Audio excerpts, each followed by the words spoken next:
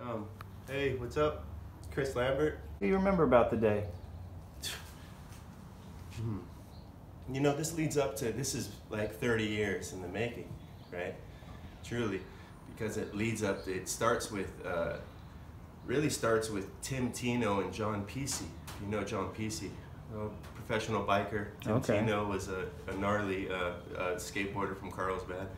Always heard that these guys tr- jumped it.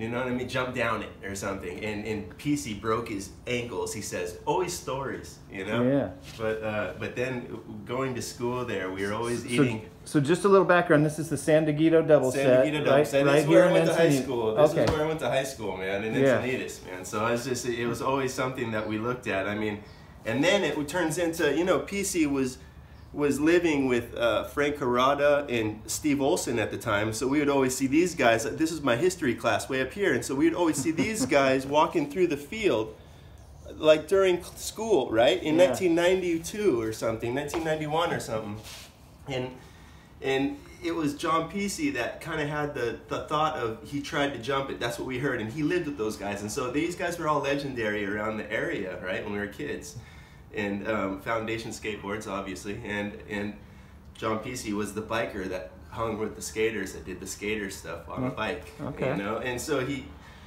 Anyways, and then and then and then it turns in, and then you know that goes by for years. Nobody, we always heard, but always in the back of my mind because I was a lawn trap kid, so I would always jump high stuff or something. That was just because my dad built too big of a lawn trap for me, and I had to learn how to jump off stuff high or something. And and whatever.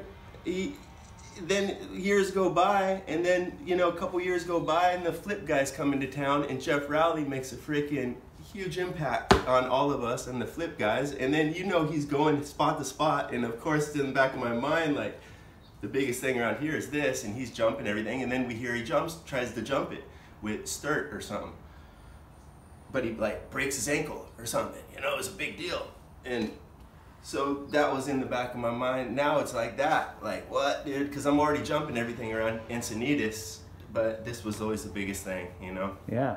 And then, whatever, man. And then, then years go by, go, turns into, we start Expedition up, and I'm like ending my video part off, and I'm, well, it's years, actually, years in the make, but takes some months for us to film. We're doing the filming process, and I try to jump it. And a lot of the times it didn't work out. I landed on the bottom stairs, you know, it was like four or five sessions, right? And I would always call up the boys, right? Or I would go out with I would go out with Lee Dupont because he just got this fit camera and we would set it up all solo style. And he has all the footage, that fucker, and he would never shows it. I don't know if he ever got. He says he got rid of it all or something. All of my footage that I had like five or six different sessions of jumping down this damn thing. He has it all on footage.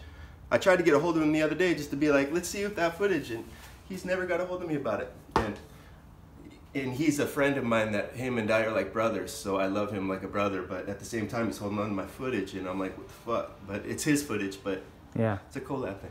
And um, anyways, I try to jump it, boom, boom, boom, and then Lee's filming for freaking Zero and all those guys, and then he Jamie hears about it, and then it turns into some kind of a thing because he hears about it, didn't I? Didn't pull it, and then this guy tries to do it, and I love Jamie too because I go back with him 20 years since experienced skateboards, you know. So I know Jamie. So we're all know each other, so it's always this push, right? Yeah. Lee's freaking pushing these cats while he's filming, trying to get other dudes to try to do it, because I didn't do it, maybe I don't know, and so it turned into some personal thing. So you're filming for Expedition. and then look at I'm hey, you want me to tell the story? I'm telling you that like the real deal, right? yeah. And and then, yo, I just keep on filming. I hear Lee was doing this. I got all bummed out. Him and I are like, I, you know, now I'm like, I wish I could hang out that cat and talk about this stuff.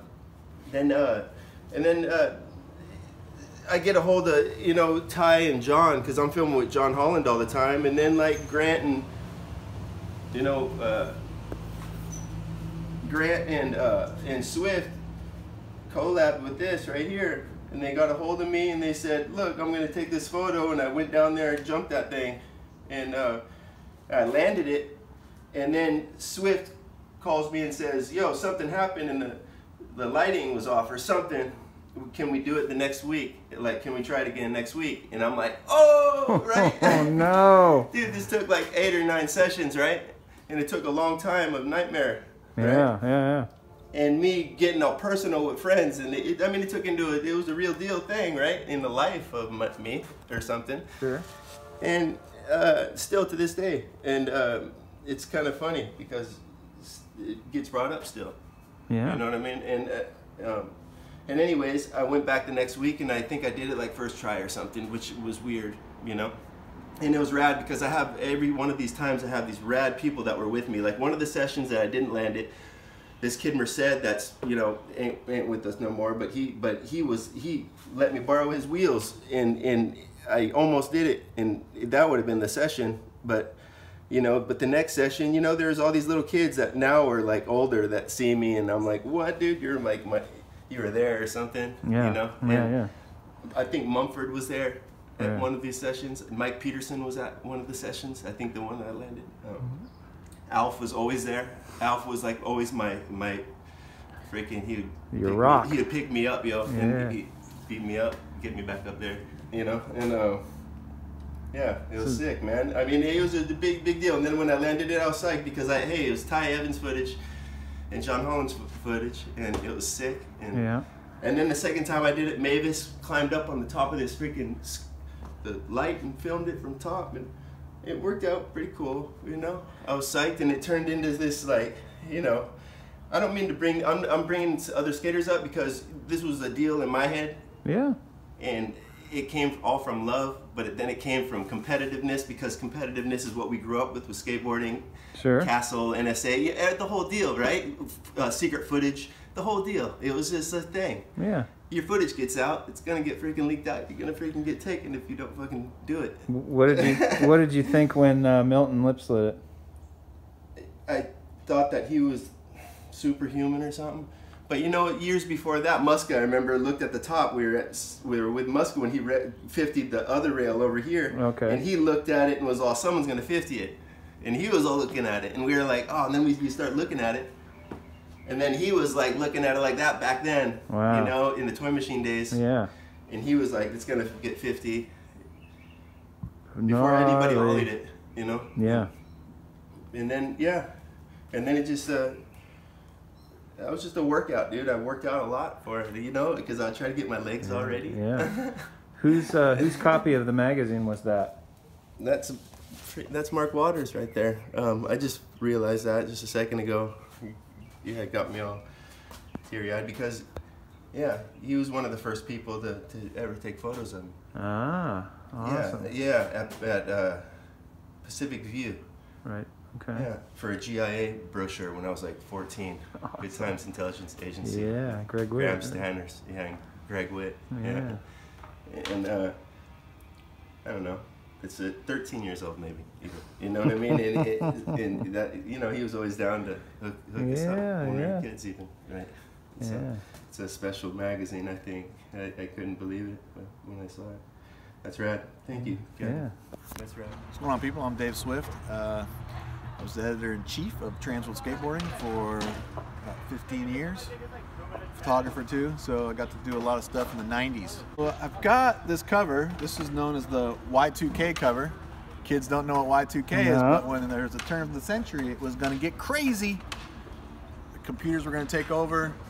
It was just going to be the end of days, man. So people had to go big. So therefore, we have Chris Lambert, Yep. um, Ollie in the double set, which was a gigantic double set Which is a, at which? San Diego High School. There you go. It's now called San Diego Academy. Um, so yeah, Chris Lambert. Um, he had tried this a few times. I want to say this was the third time because I know I had shot there one other time. We shot probably seven rolls of film for sequences. I was on this double set laying down with a fisheye. Okay. So he landed on several, probably landed on each roll at least one time, landed and just smash into the ground. Like just or flying out, like shoes off, everything, just bad time. Yeah. Um, and it probably was another three or four months before we went back, and it was right at the time that we started on this Y2K issue. Um, and I think maybe this time it took him like two or three rolls. So I shot a couple stills of him getting there. So this this one right here is probably not actually the make. Like he didn't land on this this exact one and roll away because I have a sequence where he landed, board broke, and he still rode. He didn't like stop. Board snapped in half and he kept going. Um, so it's kind of like a parachute, board break parachute we call that. Um, but in those days, like because we were shooting film, like, and we didn't know if we had got a still or whatever the deal was, we would shoot a number of stills while the guy was trying it. And if he landed it during those 10, 10 tries, then we would just shoot a sequence after. Um, or if he felt like he'd landed it good enough, and then you, then you just started shooting sequences, you know, because it was like, all right, he's gonna do it on this try. Sometimes he did it on the next try. Sometimes it took another eight rolls. This time, three rolls, good to go. So the other person that I knew that had tried to ollie this was Geoff Rowley, maybe a year before, like around the same time, but I think he'd kind of given up on it, like by the time Chris did it. But what's rad about this is that Chris is from Encinitas. He went to San Diego, and those guys were, you know, the ESP guys, you know, Encinitas Skate Posse. Yeah. Were the guys that skated San Diego all the time. You know, they were like the locals at San Diego High School, skated all the spots in the high school.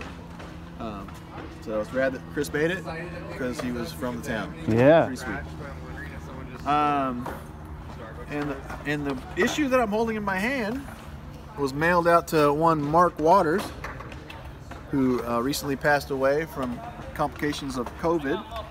Um, Mark actually was my roommate for about a year in Carlsbad. Mark uh, did some zines. He was originally from San Jose. Uh, Did your time at Transworld overlap? yes. Yeah. Mark worked for me for a while at Transworld. Um, so like, well, he worked. We worked together for a while, and then towards the end of him working at Transworld, I was his boss. So you know, we were both photographers. Both got on the road a lot. You know, he did his trips, I did my trips. But yeah, he marked our way back. Um, sorry to see him go, but it's kind of cool that this issue has was actually once his. Yeah. As I as I mentioned earlier, sequence of the ollie. You know, not many people shoot a lot of ollies, but this was a pretty big one at the time, uh, late 1999. And then the board break and the ride away continues. Yep. Pretty sick. Good job, Chris. What's your favorite uh, magazine cover from back in the day? Um, I think it's uh, it's probably there's that Dune cover of him kickflipping in Venice over the flat gap. Yeah. For some reason, it's always been in my head about a, a, a cover. Yeah, we think And it's not the biggest thing, and it's not the craziest thing, but it's like the, the layout's awesome. the layout's awesome. The cover, I think it had some colors down the side oh, or yeah, something. yeah, and rainbow. I don't know, just like the fish eye up in his face, maybe like it's taken from up here. I don't know. It's just a weird cover, and it always stuck out to me. Awesome. Yeah. yeah.